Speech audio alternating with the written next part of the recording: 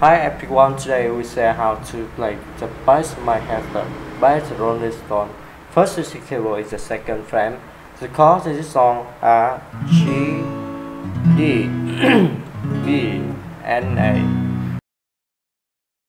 Pace, hook, pay, hook, step, hook, hook, step, hook, pay, hook, step, hook, hook, step, hook, and play long. D, D, D. D G G G and G. And so his instrument is the same way for track choose the chorus to play down up tap.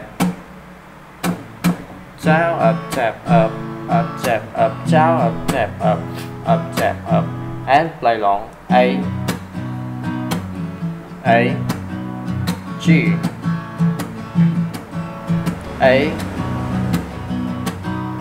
G. A C. D. G.